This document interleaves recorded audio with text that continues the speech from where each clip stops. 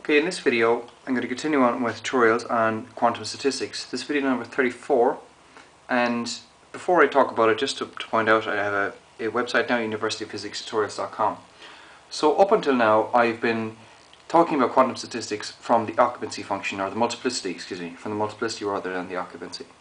But I said that there's, all, there's a better way of doing it, or a slicker way of doing it via thermodynamics, so that's why at the start of my tutorial series I did a few videos on the Boltzmann factor and the partition function. And also actually these videos that I'm doing right now lead directly on from my tutorial series on thermodynamics.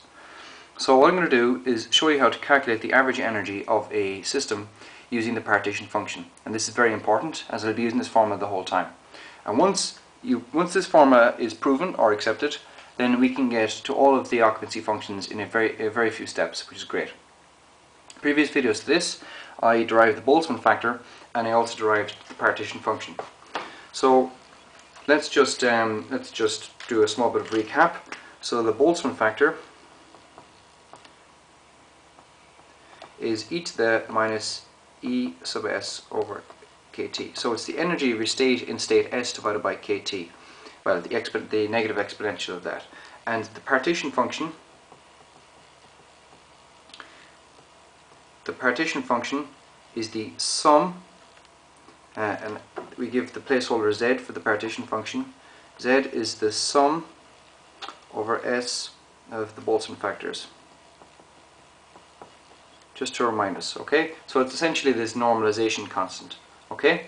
Um, yeah it's this normalization constant.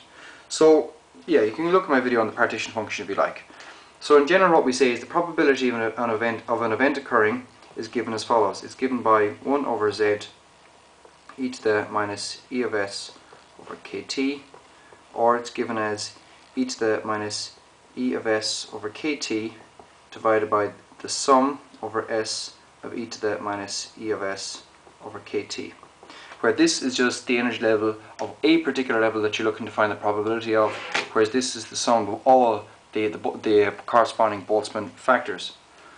Now let's look a small bit on, on averages, something you probably, you, you know, it, it should be, it might be obvious, but you might have never looked at it this way. If you think about averaging, averaging something, I'm going to give the, the, the bar, the, this bar notation being the average. So let's think about the average of something. Let's say you wanted to find the average of your money, let's give it M bar. And you have lots of different coins. So you might have, let's say, four coins uh, which are let's say um, one dollar. And you might have three coins which are uh, let's say um, five dollars or whatever. Okay plus 10 coins or 10 notes which are hundred dollars. Okay and you want to find the average what's the average value of your your money? Well then of course you're going to divide it by you're going to get the money multiplied by how many you have and divided by 4 plus 3 plus 10 which is 17. Okay? But another way of looking at this is as follows. You could instead say it's the your average money is your money, we'll say, multiplied by the probability of having that money. Plus $5 uh, multiplied by 3 over 17 plus uh, $100 multiplied by 10 over 17. You could look at that way. Okay? Or you could say that your, your average money is your, we'll say small money multiplied by the prob probability of your small money. Okay? But you're going to sum over them like that. You could look at it that way if you like. Whereas 4 over 17 is of course the probability of getting $1. 3 over 17 is the probability of getting $5. 10 over 17 is the probability of getting $100. So now that hopefully you've accepted that, let's look at the following. Let's generalize this to energy. So the average energy is going to be the sum over S of the energy of your state multiplied by the amount of particles in that state divided by the total number of particles. I'm sure you can see what's coming next. That's going to be the sum over S of the energy of a particular state multiplied by n of s over n, but that can be rewritten in terms of probabilities because it's the sum over s, the energy of that state, and we also have the probability of that state occurring. Okay, now we're talking about energy, so probabilities we just wrote a moment ago. That means the average energy is the sum over S of E, the energy of that state, multiplied by 1 over Z, e to the minus, um, we'll say beta epsilon, beta E of S like that. You can write it that way, beta is equal to 1 over kT. We call that the thermodynamic beta. Now 1 over z, if you want, can be moved out here because although it depends on all your, your different uh, energy levels, it's a constant for a particular system. Okay? so we said that this is the average energy of our system.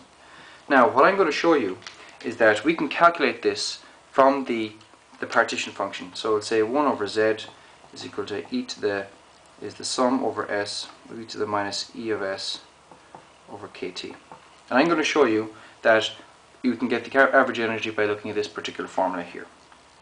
So let's go ahead and do that. First of all, let's get del z del beta, where beta is equal to 1 over kt.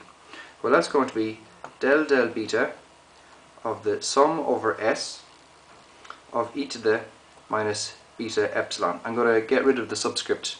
Um, I'm going to get rid of or beta, beta e, we'll say. I'm going to get rid of the um, the s part. Okay. Well, that's a pretty straightforward derivative. You can bring the derivative inside, del del beta e to the minus beta e. Okay, and that's of course going to be the sum over s of minus e times e to the minus beta e. Like that. Now, so we're just going to do a small bit of trickery here. I'm going to multiply by 1, pre-multiply by 1 over z. So we have minus 1 over z del beta del z. What's that going to be equal to? Well that's going to be minus 1 over z times the sum over s the sum over s of minus e e to the minus beta e. Okay?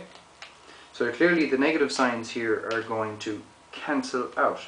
And what we're going to be left with is the sum over S, the energy. We'll say I'm going to put in the placeholder this time. We're going to have e to the minus beta e of S divided by Z. And look what we have here.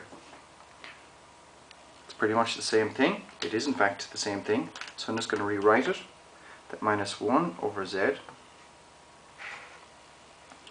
del beta del z is equal to 1 over z